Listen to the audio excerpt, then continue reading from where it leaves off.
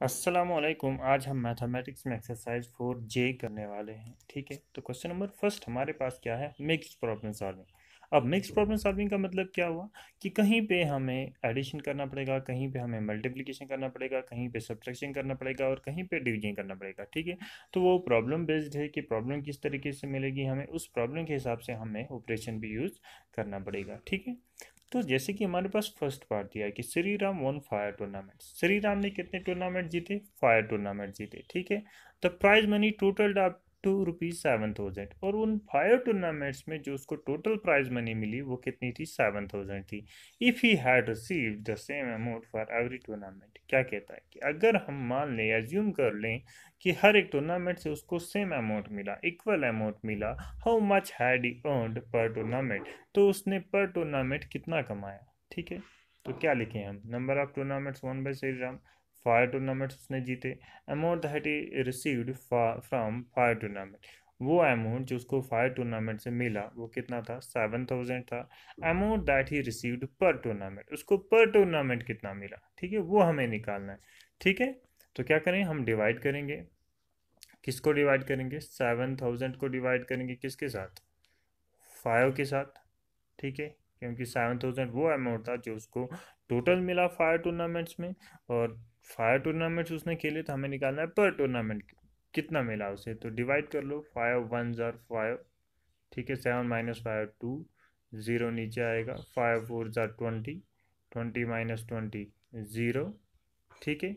अब यहाँ पे बचेंगे दो ज़ीरो ठीक है? तो एक एक बार नीचे लाओगे तो फिर से वही करना पड़ेगा, एक ज़ीरो यहाँ लाओगे, एक ज़ीरो यहाँ ठीक है, फिर एक ज़ीरो और नीचे। तो इससे बेहतर है कि हम एट ए टाइम ये, यहाँ पे लिख लें, ठीक है? और यहाँ पे दो ज़ीरो पुट करें, ठीक है? या अगर करना भी है तो कुछ इस तरीके से करें कि हमारे पास ट्वेंटी माइनस ट्वेंटी तो ज़ीरो आया, ठीक है? फिर ये एक ज़ीरो यहाँ और एक ज़ीरो हमने यहाँ पुट किया, ठीक है? फिर ज़ीरो ज़ीरो लिखें और फिर ज़ीरो और फिर ये ज़ीरो नीचे। तो कोई फ़ायदा नहीं तो डायरेक्ट क्या करें? ये दो ज़ीरो नीचे लाएँ और दो ज़ीरो ऊपर यहाँ क्वेश्चन में लिखते हैं। तो हमारे पास जो आंसर आया आंसर क्या आया? फोर्टीन हंड्रेड तो हम कह सकते हैं कि उसे पर टूर्नामेंट कितना मिला? फोर्टीन हंड्रेड रुपीज़ मिले, ठीक है? तो सेकंड पार्ट को अब देखते हैं हम। सेकंड पार्ट क्या है हमारे पास? सेकंड पार्ट है कि Raj nursery has two hundred nine rose plants in stock ठीक है? एक नर्सरी है जिसमें 209 रोज प्लांट्स ऑलरेडी स्टॉक में हैं। They need 166 more to complete an order और उनको अभी भी 166 और ज़रूरत है ऑर्डर कंप्लीट करने के लिए। How many plants had been order तो कितने प्लांट्स उनको ऑर्डर मिले थे? कहीं उनको देने होंगे। ठीक है तो ऑलरेडी उनके पास 209 है। 166 मोर चाहिए। तो बताओ ऑर्डर कितने का मिला था? तो सिंपल सी बात है, क्या करें? जो उनके पास हैं ऑलरेडी और जो और चाहिए, दोनों को एडप्ट कर लो। काम ख़त्म। ठीक है?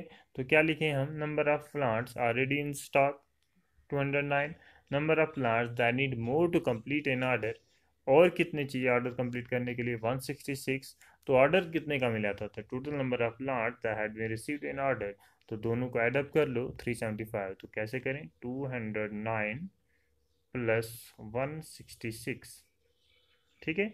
नाइन प्लस सिक्स कितना हुआ? फिफ्टीन फिफ्टीन का फाइव कैरी वन सिक्स और वन, सेवन, ठीक है, टू और one, three.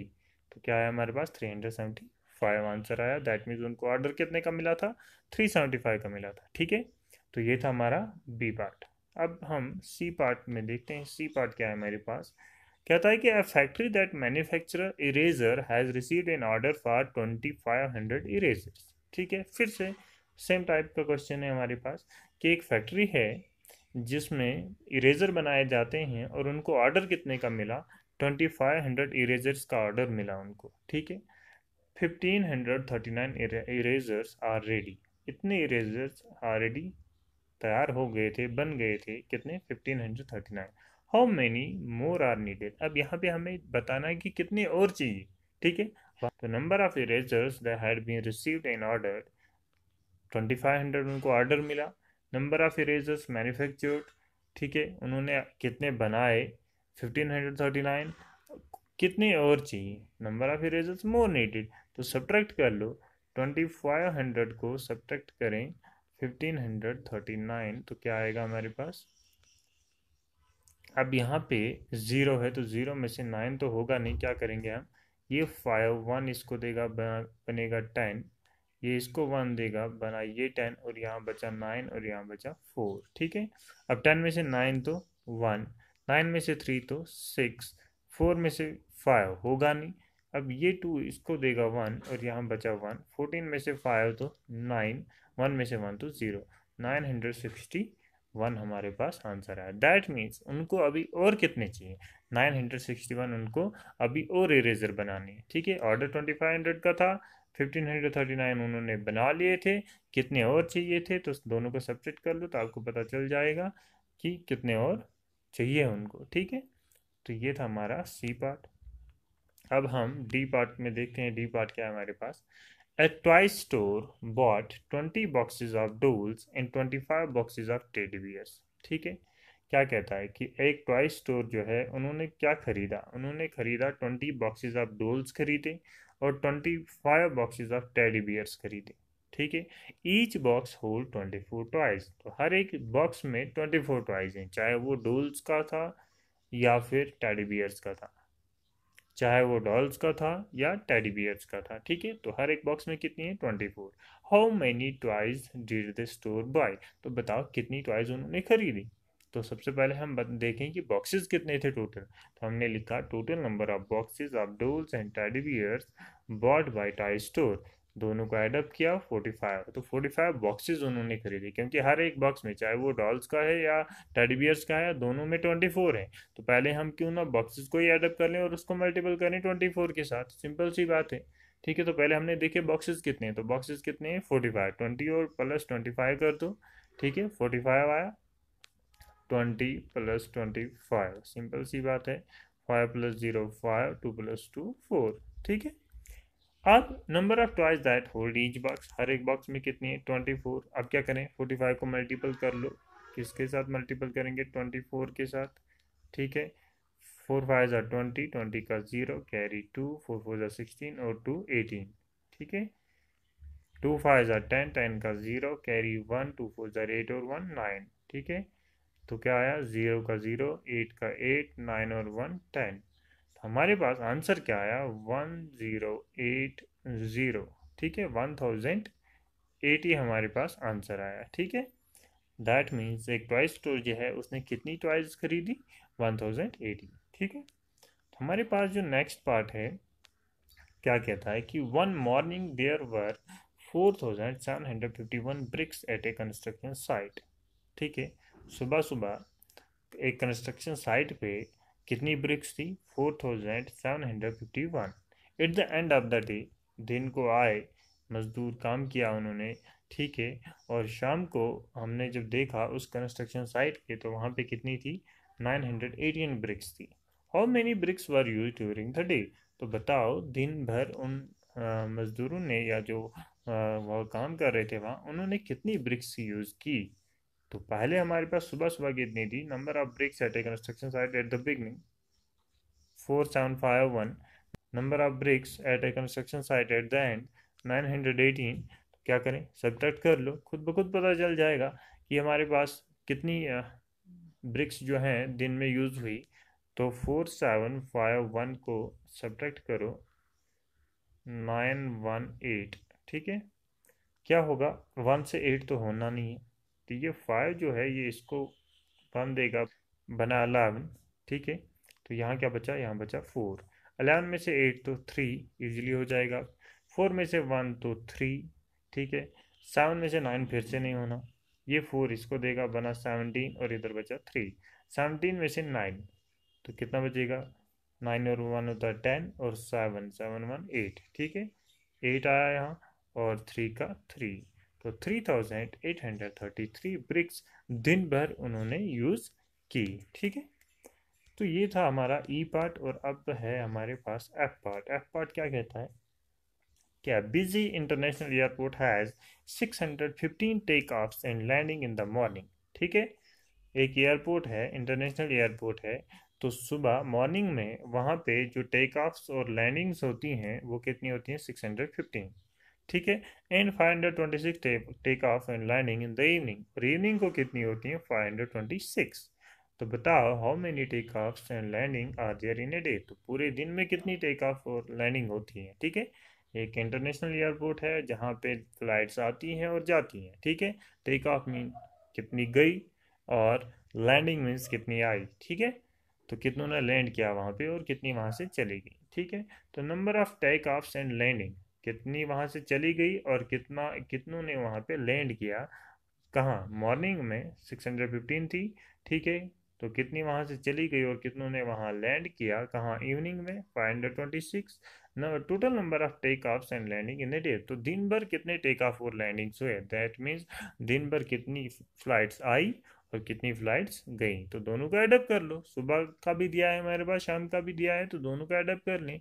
Six hundred fifteen plus five hundred twenty six दोनों को एडअप करें तो हमारे पास निकल जाएगा answer six plus five eleven eleven का वन कैरी रहेगा one two plus one three one four six और फाइव अलेवन ठीक है? Eleven hundred forty one take off और लैंडिंग दिन में वहाँ उस इंटरनेशनल एयरपोर्ट पे हुई।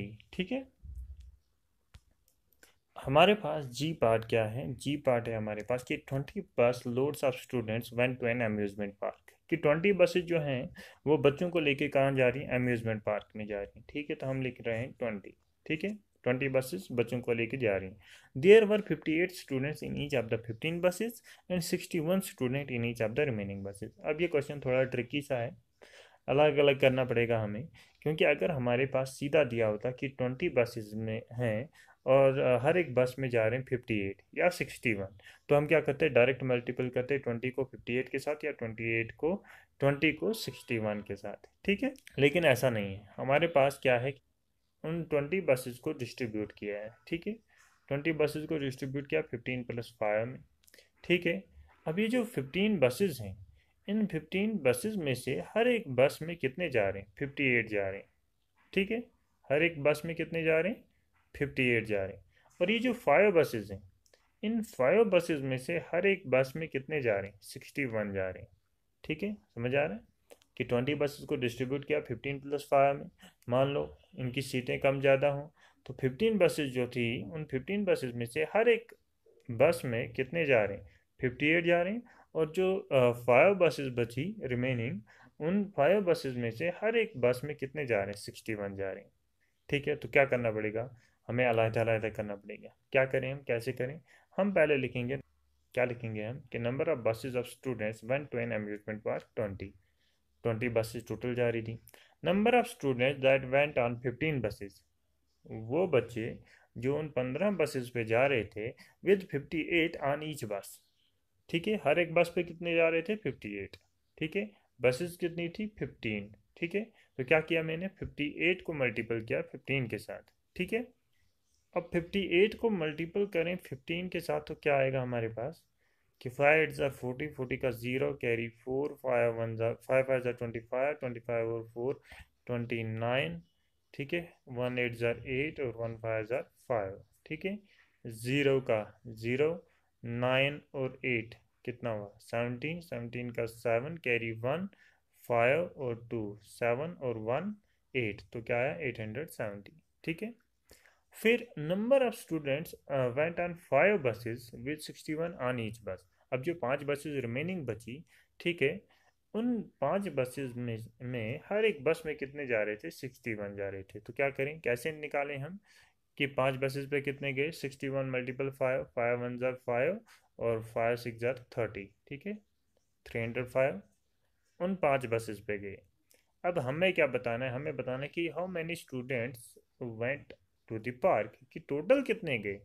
तो क्या लिखें हम? Total number of students went to an amusement park दोनों को एडअप कर लो। जो फिफ्टी फिफ्टीन बसेस पे गए और जो फाइव बसेस पे गए तो eight hundred seventy plus three hundred five दोनों को एडअप कर लो। तो क्या आएगा हमारे पास? अलेवन हंड्रेड सेवेंटी फाइव ठीक है? तो ये था हमारा आज का मैथ का टॉपिक थैंक यू